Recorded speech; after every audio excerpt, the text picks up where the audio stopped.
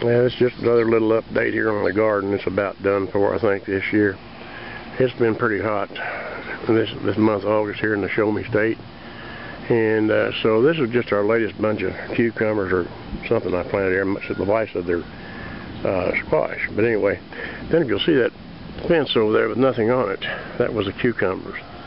And well, we done good on them, I will say. We got like 31 quarts of dill pickles off of them. And uh, so that worked out good. And then the tomatoes over here, they're about done for too. We got a few off of them. Not many, although we did can around 40 quarts of tomatoes. Not from here. They was from the uh, neighbors that had way too many. Her husband got a job in, I don't know, Georgia, someplace like that, and uh, couldn't tend to them. So they was nice enough to give them to us. And there's some green beans over there. Uh, they really, this is my second batch of green beans. We don't go over and take another These look beans here was the second batch. I don't know when I planted them, maybe a month and a half ago or something like that. We've been getting beans off of them already. That really green looking batch over there, they've been there for quite some time. We've been getting lots of beans off of them. And uh, uh, they'll still be putting on some more, and these here will be putting on more. You might be able to hear that thunder in the background. It'd be nice if we get a good rain around here.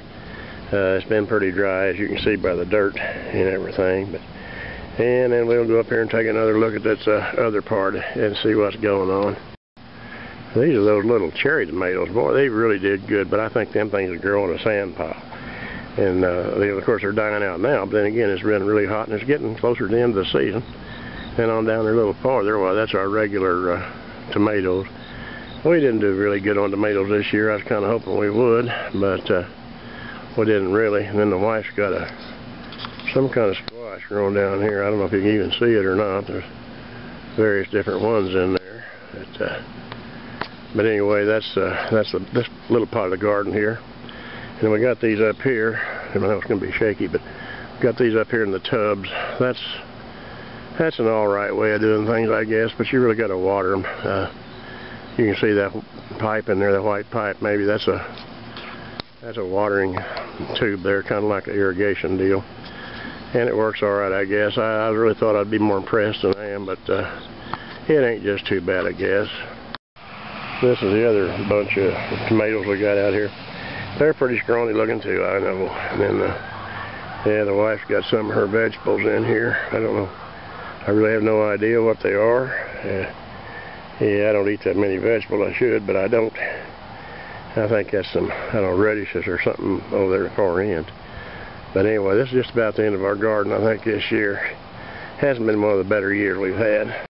This is our big old chicken crop, a whole three of them. Uh, they're them the pickiest things. Most chickens I've seen will eat anything. These chickens, they got spoiled on uh, some chopped up grain a neighbor of ours made. Now they will hardly eat nothing else. They're just, they're all hens. They, uh, they've been starting to lay a little bit, but Oh, they're all right. They they do a lot of making noise, but lucky to have it, they don't crow too much because they're not roosters. We got to get rid of the roosters here in town. You can't have them. Ain't really supposed to have these. Don't guess, but tough luck on that. If they don't know, if they don't, they don't hurt them. Okay, that's about it for the chickens too, I think. At her vegetables. She's really big on them. As you can see, she's using some cast iron cookware there. That's what we usually use most of the time anymore. And, uh, I just want to put that little bit in here. Just need to see some of the stuff we got out of our garden anyhow. Alrighty.